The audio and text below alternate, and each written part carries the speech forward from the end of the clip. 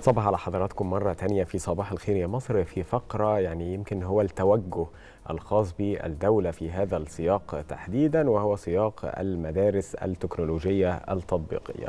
امبارح شفنا السيد الرئيس عبد الفتاح السيسي افتتح عدد من هذه المدارس والمدارس دي يمكن الدولة مهتمية بيها في الآونة الأخيرة لأنها بتأهل طلابها لسوق العمل وبيكون من خلال شراكة مع القطاع الخاص. خلونا نعرف تفاصيل أكتر عن المدارس التكنولوجية وإيه أهميتها وإزاي أقدر أقدم لابني أو لبنتي في المدارس التكنولوجية دي. كل دي أسئلة هيضيف هيجاوب عليها ضيفنا الدكتور عمرو بوصيلة رئيس الإدارة المركزية لتطوير التعليم الفني ومدير وحدة تشغيل وإدارة مدارس التكنولوجيا التطبيقية. اللي مشرفنا في الاستوديو صباح الخير يا دكتور. صباح الخير أهلا فندم دكتور عاوزين الأول نبسط للسادة المشاهدين ونعرفهم يعني إيه مدرسة تكنولوجية تطبيقية وليه في اهتمام في هذا المجال تحديدا؟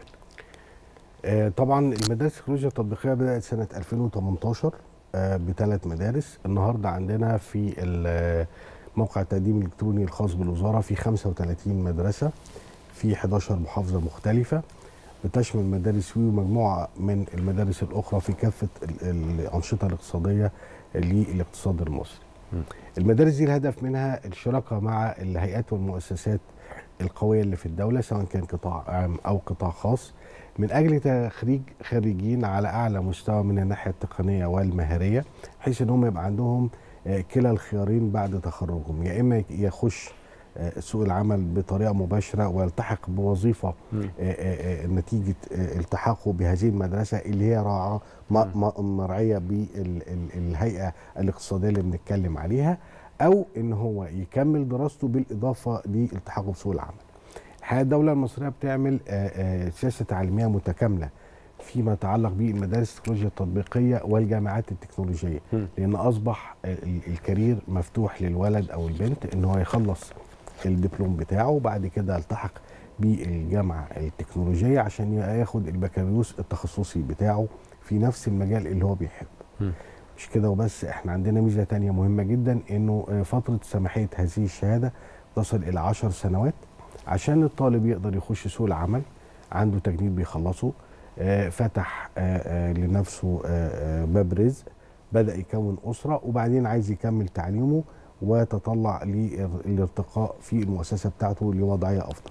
ده متاح عن طريق الدراسة في الجامعات التكنولوجيه هنا النقطة دي بس عاوزه توضيح شوية. يعني إيه فترة صلاحية هذه الشهادة 10 سنوات؟ يعني دلوقتي الثانوية العامة كانت بتبقى فترة أو الدبلوم الفني. اللي أنا ألتحق مثلا بثانوي عام بقعد فترة معينة لازم هو أكون سنتها والسنة اللي وراها بأقصى آه. حد ولا عذر أو لظرف ما. صحيح. لكن دلوقتي إحنا عندنا 10 سنين من حق حضرتك أعمل هولد أعمل حاجة وأرجع أكمل تاني. بالظبط كده. زي موجود في العالم كله. وبالتالي الطالب والطالبة هنا فور تخرجه من حقه إن هو يخش سوق العمل ويجرب حظه في مجال وفي اثنين وفي ثلاثة وبعد كده يقدر يعدل مساره أو يكمل في الجامعة التكنولوجية. مش بس بيعمل البكالوريوس بتاعه بيعمل يقدر يعمل ماجستير ودكتوراه كمان لو حابب إن هو يرتقي لأعلى المكانة أو منصب في المكان في المكان اللي هو بيشتغل فيه. دي كانت ميزة مش موجودة اطلاقا. بالإضافة لده إنه التعليم الفني نفسه النهارده الولد بيقدر ياخد شهادتين في المدارس التكنولوجيا التطبيقيه، الشهادة بتاعت الدبلوم بتاعت الوزارة وبياخد شهادة جدارات بالإضافة لشهادة اعتماد دولي. م. كل ده عشان يقدر الولد أو البنت يبقى مؤهل إن هو يلتحق بسوق العمل المحلي والدولي إحنا عندنا شهادات اعتماد من ألمانيا وعندنا مع إيطاليا وقريبا إن شاء الله مع فنلندا والولايات المتحدة وبالتالي الولد أو البنت يقدر يتخير ما بين أسواق العمل الخارجية المختلفة طبقا لقدراته. طبعا ده بالإضافة لسوق العمل العربي في سواء كان في الخليج أو في بقية الدول العربية اللي كان معتاد إن العمالة يلتحقوا للعمل هناك في هذه الدول وبيتمتعوا بسمعة طيبة اللي إحنا بنسعى لاسترجاعها في الآونة الأخيرة.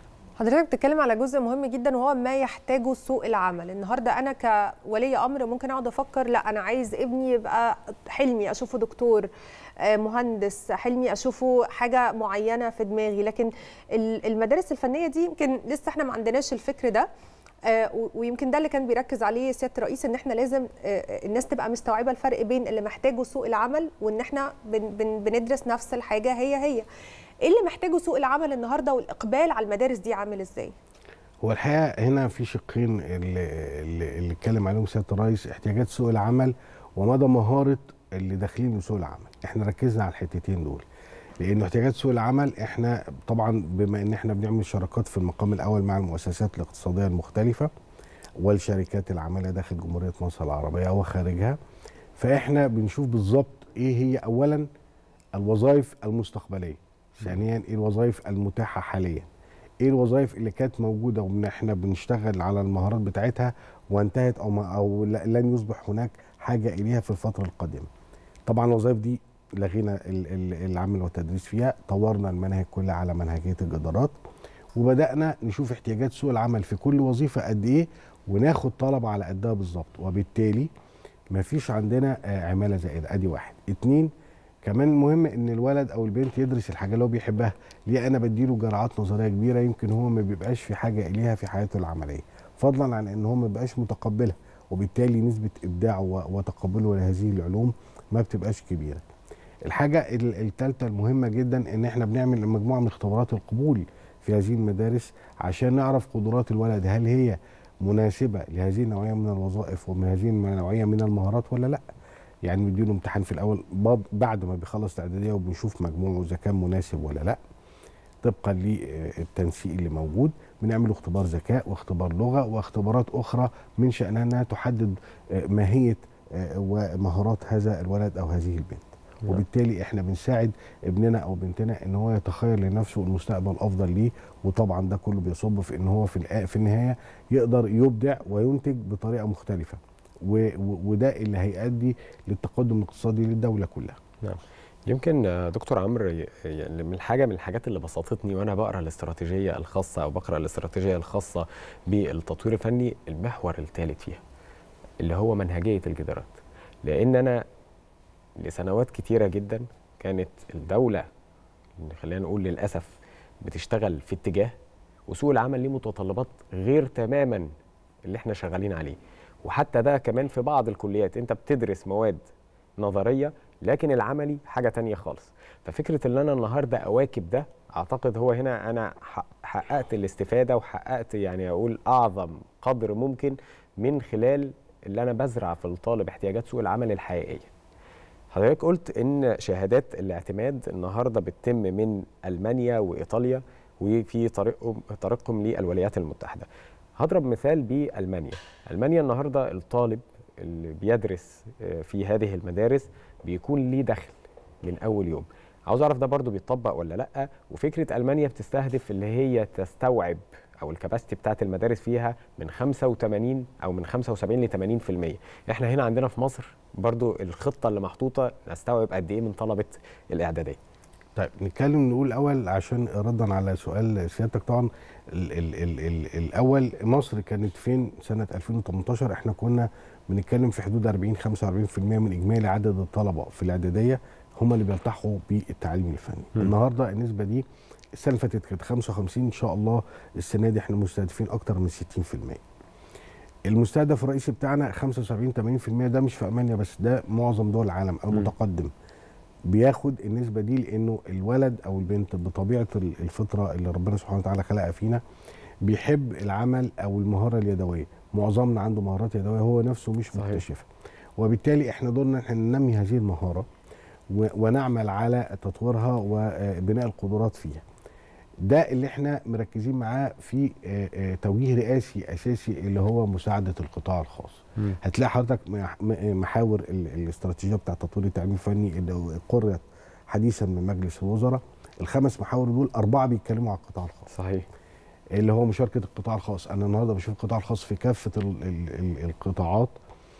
وده الحقيقة مهمة بالغة الصعوبة لأن حضرتك عارف ان التعليم الفني بيغطي كل مناحي الحياة. مم. لو قلت زراعة لو قلت صناعة لو قلت تجارة لو قلت حتى صحة كل المناحي الحياة بيبقى مشترك فيها آه، آه، تكنولوجيست أو تقني بمختلف المسميات. صحيح. وبالتالي أنا بحتاج مشاركة القطاع الخاص في المجال الفندقي في المجال الزراعي في المجال الصناعي وما أدراك ما المجال الصناعي وتعدد التخصصات فيه.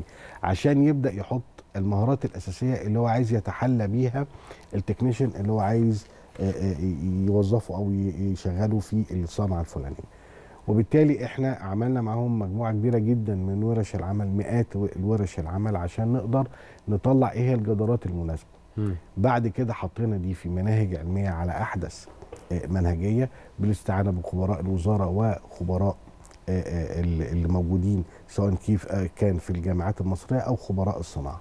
وبالتالي طلعنا آه، مناهج جديدة تقدر إن هي تلبي احتياجات سوق العمل. زي ما اتفقنا للمهن الحالية والمستقبلية. ده بالإضافة لإن إحنا راجعنا كل المهن السابقة وحذفنا كل ما هو آه، ليس آه، آه، في إمكانية للالتحاق بوظائف في سوق العمل الحالي. وبالتالي ولادنا وبناتنا النهارده بيتحلوا بمهارات يقدروا إن هم يشتغلوا فيها مش بس في المؤسسات لكن في حتة مهمة جدا اللي هي ريادة الأعمال لأنه في كتير من الناس اللي شفناهم نماذج جميلة. امبارح وفي كتير جدا أعمال. غيرهم في ال- التعليم الفني هم عندهم أفكار لانهم يعملوا مشاريعهم الخاصة وبالتالي إحنا بنشجعهم كمان وبندرس لهم ريادة الأعمال عشان يقدروا إن هم يكونوا ترس مؤثر في عجلة الاقتصاد المصري طيب بالنسبة للناس اللي عايزين ياخدوا اتجاه تاني هل في تعاون بيبقى بين الشركات وبين المدارس دي بحيث إن الطلبة آه، خلينا نقول آه، يبقى ليهم مثلا انترنشيبس أو لما يتخرجوا يبقى ليهم فرص للعمل آه، في هذه الشركات مثلا أو المؤسسات؟ وهل أنا كطالب النهارده يعني عايزة برضو أفهم من حضرتك في مجموع معين محتاجاه عشان أدخل الجامعة بعدها أو إني أروح أشتغل على طول بعدها؟ طبعا. حضرتك آه، إحنا زي القديم ما- يعني أضفنا امتيازات لكن لم نخصم من رصيد القديم. يعني قديما كان الولاد بيخشوا كليات الهندسة مثلا في التعليم الصناعي بعد إجراء معادلة. النظام ده ما زال قائم. ولكن أضفنا إليه إن الولد بيخش بدون امتحان معادلة في حالة إنه يجيب 75% فاعلى في الجامعات التكنولوجية بطريقة مباشرة. زي ما اتفقنا هو الولد آه، آه، ال- الحقيقة التعليم الفني على عكس ما هو مفهوم أو متداول التعليم الفني آه، هو التعليم الأرقى والأكثر تكلفة. لأنه بيعلم الولاد مهارات مرتبطة مباشرة بسوق العمل. وبالتالي التكلفة الكبيرة اللي بتتحملها الشركة الراعيه في هذه النوعيه من المدارس هو بيبقى عايز ال- ال- ال- العائد بتاعها إن هو يوظف هذا الولد اللي استثمر فيه أو هذه البنت في جوه المؤسسة بتاعته. تمام؟ وبالتالي آه، آه، هو بيبقى أكثر حرصا على إنه ياخد أكبر عدد ممكن من هؤلاء الخريجين داخل مؤسسته.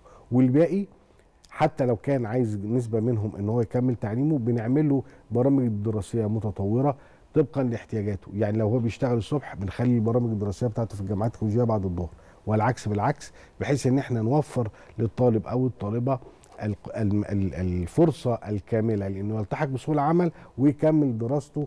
إذا ما حب وكانت قدراته تسمح والكارير الوظيفي كمان ال- ال- اللي هو عايز يمشي فيه جوه المؤسسة الراعية بيسمح بذلك نعم.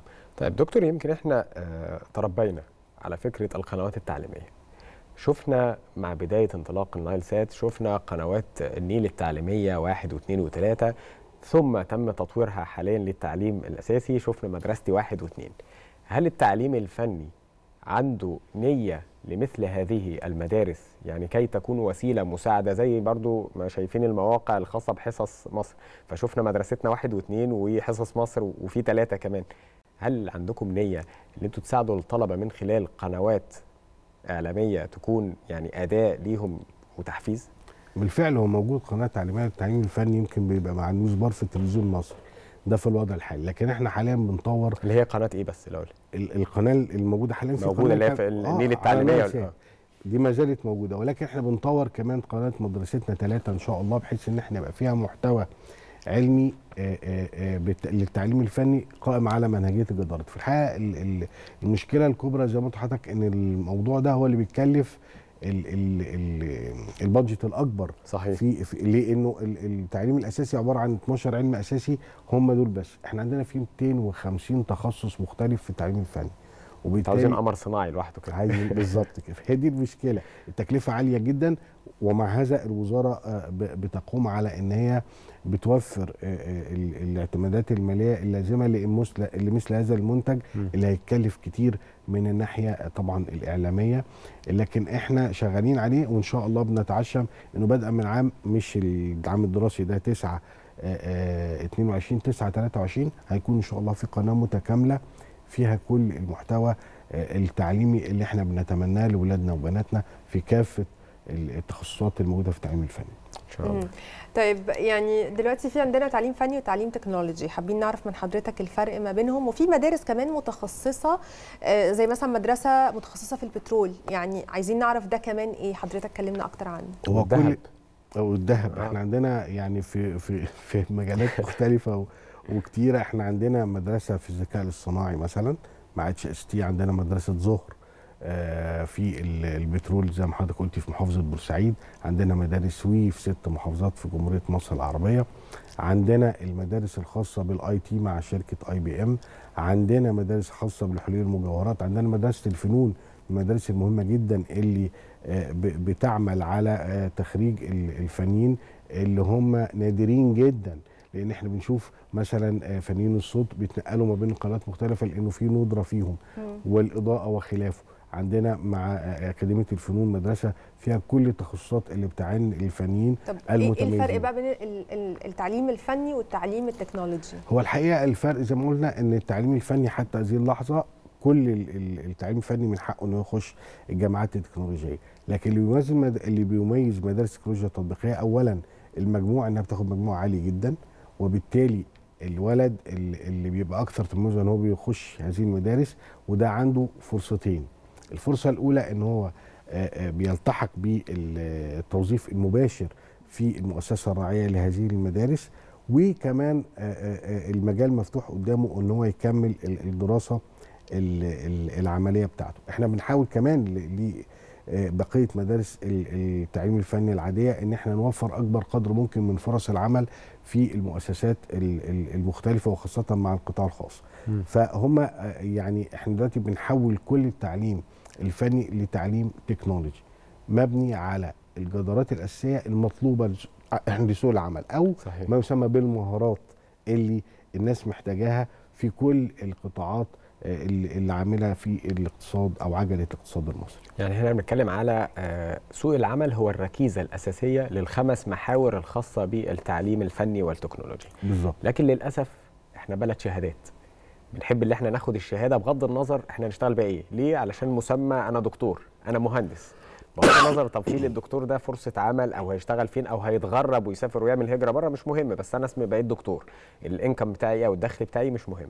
فعاوز أعرف إيه المسمى اللي أنا لما أدخل مدرسة تكنولوجية هطلع؟ هطلع مهندس مثلا أو هطلع آه، خبير في مجال مثلا النانو تكنولوجي أو يعني ايا ما كان ال- القطاع اللي أنا أو القسم اللي أنا داخله؟ هو ده م- عشان نطمئن بس السادة المشاهدين فيما يخص المسميات اللي هم بيجروا وراها المسميات هو ده فيما يتعلق بالصورة الذهنية لخريج التعليم صحيح. الفني اللي هي فيها محور كامل في استراتيجية تطوير التعليم الفني. في الحقيقة ده موضوع يعني متشابك الأطراف لأنه بيتدخل فيه الأهل والولد والمجتمع كله صحيح آه، خلينا نتكلم بصراحة ما فيش آه، ما يدعو إن إحنا نقول إنه آه، خريج ال- الشهادات ما يسمى بالشهادة المتوسطة مم. إن هو ما يدخلش ولاده مدرسة معينة أو ما يشتركش في نادي معين العقد الاجتماعية دي هي مش مكتوبة ولكن معمول بها مم. يعني هذا الكلام آه، مش مكتوب في قواعد معينة ولكنه آه، بيعمل. بيه في بالظبط كده عرفي حتى في في أمور الجواز. كل ده حليناه بإن الولد عنده القدرة إن هو يعمل هو كان إيه اللي بيحصل قبل كده؟ الولد بيخلص الدبلوم بتاعه وبعد كده يلجأ لكلية نظرية كلية آداب أو حقوق أو تجارة أو خلافه عشان ياخد المسمى بتاع إن هو معاه شهادة عليا. النهارده بقى معاه شهادة تكنولوجية في تخصصه. فأنا ما فقدتش المهارة الكبيرة اللي بيتمتع بيها هذا الشخص وإن هو يقدر يكمل. الجامعة بتاعته وفي نفس الوقت يشتغل نفس الشغله اللي هو بيحبها ويقدر يبدع فيها. إحنا عندنا فكرة الإبداع كمان غائبة تماما. يعني إحنا أنا عندي ولاد زي اللي حضرتك شفتهم امبارح كتير موجودة في التعليم الفني. عندهم آه، آه، آه، مهارات واختراعات إحنا بنساعدهم وبنعضدهم. وإن شاء الله عندنا بيت- بيتكون الفريق القومي المصري للتعليم الفني اللي هينافس إن شاء الله في مسابقة التعليم الفني على مستوى العالم. وأنا بتوقع له إن شاء الله نتائج هتكون إن شاء الله بإذن الله مبهرة لأن ولادنا بيتمتعوا بقدر كبير جدا من المهارة ومن الإمكانيات. مم. إحنا بس عايزين تشجيع ودعم ليهم وده اللي إحنا بنعمله حاليا. والدعم أصبح موجود. هو ده اللي بقول لحضرتك عليه لكن هو ال- المسمى المسمى إن هو راجل تكنولوجيست في مجال معين في عندنا طبعا شهادتين في ثلاث سنوات وثلاثة زائد اثنين لأن السياسة التعليمية اللي أنا قلت لحضرتك عليها سلفا عبارة عن ثلاثة زائد اثنين زائد اثنين يعني إيه؟ يعني هم سبع سنوات دراسية عشان يحصل على درجة البكالوريوس. خد ثلاثة في المدرسة أو خد خمسة في المدرسة يبقى بيكمل اثنين في الجامعة. وبالتالي هناك تكامل في ال- ال- ال- ال- المناهج اللي إحنا بنسعى لأن إحنا نوصل لده مع الجامعات التكنولوجية وبالفعل في بروتوكولات تعاون معاهم. يعني. المدارس التكنولوجية والجامعات لا تقل في القيمة والمكانة عن التعليم الع- العالي. والله أنا يعني مش يعني عايز أكون عاوز متحيز. اللي أنا عاوز اقوله يا دكتور يعني إحنا ممكن في يوم من الأيام لا أنا عايزه نشوف وزير. تكون متحيز. آه، لا، بالظبط. يعني أصل إحنا بنفسر وسبب وجود حضرتك معانا النهارده إن إحنا نبسط المعلومة ونطمئن الأهالي. ما هي هي ممكن أشوف وزير. في يوم من الأيام خريج إحدى هذه المدارس التكنولوجية والجامعات التكنولوجية؟ آه طبعا هنشوف مش وزير بس ال- الأكتر إن أنت عندنا النهارده آه، آه، مديرين تنفيذيين كتير مش كتير قوي يعني بس كتير بره من ولادنا اللي هاجروا وبقوا مديرين تنفيذيين في شركات عالمية من خريج التعليم الفني. محمد صلاح خريج تعليم فني. على سبيل المثال ها. آه ما اشتغلش في المجال ده لكن هو في النهاية معاه شهادة من ده وإحنا شايفين آه، آه، آه، المستوى الثقافي واللغوي. اذا الواحد لما بيشتغل على نفسه بطريقة سليمة وبينمي مهاراته هو ده الطريق الوحيد للنجاح فإحنا بنساعد ولادنا في ده وبندعمهم بكافة الطرق بان إحنا بنفتح لهم ال- ال- المجال للنهاية سواء للعمل داخل جمهوريه مصر العربيه أو. خارجها والدراسة كل ده طبعا تم في فترة صغيرة وعشان كده إحنا كان مستوانا سنة 2018 إحنا كنا 113 مم. في المؤشر المعرفة العالمي من 138 دولة النهارده إحنا 68 من 145 ده السنة اللي. فاتت. وبالتالي التقدم ده نتيجة مجموعة الإجراءات اللي خدتها الدولة عشان نحسن مستوى المعرفة لعموم شباب جمهورية مصر العربية والتعليم الفني هو التعليم اللي هيؤدي لاقتحام سوق العمل بطريقة أسرع صحيح. وكمان ليه مرتبات مجزية أكتر من آه، آه، آه، نظيره اللي موجود في التعليم العام أو التعليم التقليدي يعني خريجين التعليم العام كتير قوي بنشوف من بعض الشهادات لما بيتخرجوا لو انت ما عندكش فكرة خارج الصندوق شوية أو بتعمل شغلانة بطريقة مختلفة شوية بسبب التوافر الكبير لل- لل- للشغلانات دي مش يعني يعني يا مش هتبقى موجود يا مش هتكمل يا هتلاقي فرصة عمل آه هتبقى صعبة قوي إنك تحافظ عليها. هتاخد وقت شوية على ما تطور من نفسك محتاج تطور كتير. لكن إحنا في الحقيقة الفقرة الجاية معانا آه آه ضيف. آه مبرمج آه حر. وهو لسه طالب. لكن هو بيقول إن مرتبه عالي جدا جدا. ف أنا عايزة أقول إنه يعني طبعا أولياء الأمور بيتفرجوا علينا النهارده. ممكن يكون لسه طالب في مدرسة فنية لكن بيعمل يعني فلوس بيشتغل قادر إنه يصرف مش بس يصرف على نفسه لأ كمان يعمل مستقبل كبير. بالظبط. هي دي الفكرة. فلوس ولي أمره ما عملهاش طول خدمته في الحكومة. أنا موافق. آه وكمان. ازدواجية التفكير. ليه أنا بشتت ابني أو بنتي؟ طالما هو حابب حاجة معينة إن أنا لا لا خش ادرس طبيعة وفيزياء وكيمياء وكذا وحاجات أنت بتحطها على جنب وأنت بتحب ال IT مثلا وال programming زي ما حضرتك ذكرت المثال ده تحديدا. طب ما أنا عندي مدرسة مع IBM مدة الدراسه فيها خمس سنوات ما بتدرسش غير الكلام ده. طب أنت عايز ال artificial intelligence عندي مدرسة في مجال الذكاء الاصطناعي ما بتدرسش غير الكلام ده. وبيبقى الولد. dedicated فاضي لهذا الموضوع تماما وبيدرس كل ما هو مكمل ليه صحيح. في هذا الاتجاه. وبالتالي أنا بنمي له مهارته بطريقة أسرع. فهي دي بالظبط الفكرة اللي إحنا بنسعى لتوصيلها للناس. بدل ما أنا بضيع وقت الولد أو البنت في إن هو يدرس مجموعة من العلوم النظرية الجاف اللي ممكن يبقاش عنده أي interest فيها لا أنا النهارده بوجه كل مجهوداته للحاجة اللي بيحبها وبوفر له إمكانيات داخل المدرسة لهذا. وما عندكيش فكرة حضرتك كم زي, زي ما بقول innovations والاختراعات والأفكار الجديدة ده يمكن الفرق بينه إحنا. يعني بنسميه طالب متخصص هو درس حاجة معينة بالظبط. فهمها كويس مش ب... يعني أنا أنا شخصيا هتكلم عن نفسي يعني لما كنا ندخل الامتحان كلنا ندخل نكتب الكلمتين نطلع ناسيين إنما فرق بين صحيح. ال- الطالب ده والطالب ده إنه دخل ذاكر. حب الحاجة بالظبط. تخصص فيها قدر إن هو يبدع فيها فلقى فرصة عمل موجودة عمل فلوس كويسة مش وحش مش حاجة وحشة لكن في نفس الوقت هو كمان متخصص ودي يمكن أهم حاجة. دي أهم حاجة وده كلمة الحب دي. هو لو بيحب الحاجة هيقدر اولا يبرع فيها ويقدر يخترع فيها الجديد وبالتالي بتحصل عملية التنمية من النقطة دي. فده اللي إحنا ب يعني بنسعى لتأصيل هذا الفكر. وإحنا بن بندرب في ده في كل المجالات. في واحد بيحب حاجة في ال IT في واحد بيحب حاجة في الميكانيكا في واحد بيحب حاجة في الزراعة. غيته إن هو يزرع بطريقة آه، آه، مختلفة أو يزرع آه، نباتات نادرة الوجود. في واحد بيحب تربية الحيوانات في واحد بيحب الخيل في واحد بيحب الرياضة. مجالات الرياضة المختلفة. إحنا ما عندناش ولا مدرسة في التسويق الرياضي مثلا. ما عندناش ولا مدرسة في في في, في العلاج الرياضي. بنحاول نعمل ده. ففي كل التخصصات اللي ممكن حضرتك تتخيليها إحنا بنعمل مدارس. يمكن تكون صغيرة أنا عندي مدرسة في ال- البيولوجي ال- ال- أو ال- ال- ال- ال- الكيمياء الحيوية آه، مدرسة فيها 12 طالب بس. مم. بس هم متخصصين في إنتاج الكيتس بتاعة ال ال ال ال التحاليل الطبية وخلافه. إذا أنا بدور على احتياجات سوق العمل وباخد طلبه على قدها بالظبط والمدارس دي بتطلع أولاد في منتهى الكفاءة وعلى درجة عالية جدا من التميز. يعني أعتقد بعد هذه الفقرة كل ولي أمر محتاج يقف وقفة مع النفس لأن مفيش أغلى من الضنا.